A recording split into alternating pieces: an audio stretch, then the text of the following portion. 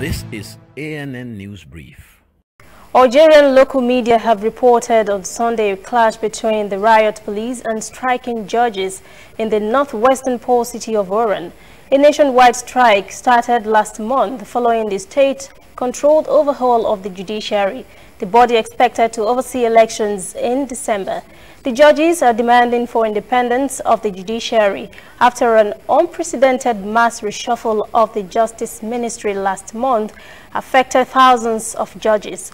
Police were called to the court where the protesting judges had attempted to stop a swearing-in session for their pro-government um, colleagues. The National Lawyers Union has denounced the use of violence, calling the incident a serious attack on the sovereignty of the judiciary.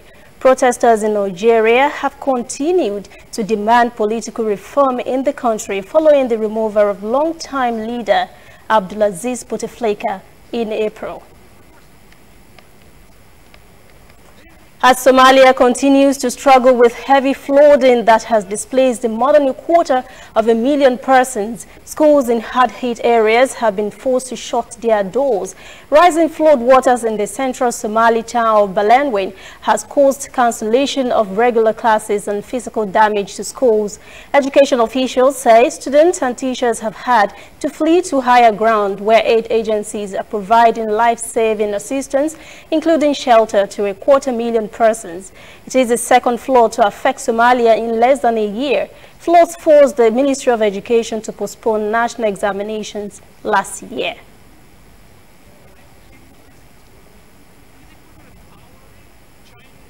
We'll be right back. Whether in your house, at your office, on your phone, or online, we are there. We have the facts behind the headlines. Cut to the chase with the news you really need. We cover every angle. We are the bigger, better news network. We are African News Network. ANN. Watch ANN News on MITV from a truly African spirit.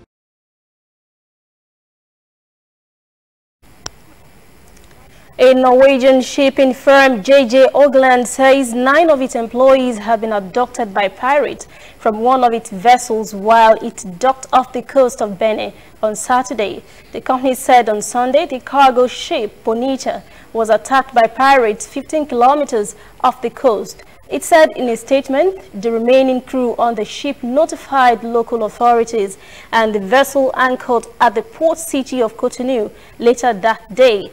The company says the dry bulker Bonita was carrying gypsum, a mineral commonly used as fertilizer destined for Benin. The crew's identity and nationality have not been revealed. West Africa's Gulf of Guinea is um, notorious for abductions by armed groups who usually demand ransoms for safe return of victims. That is ANN News Brief. For details on these and other breaking stories, visit our website, annafrica.news. Conversation continues on our social media platforms, Twitter, Instagram, and Facebook at ANN Africa TV. I'm Lucy Ademi.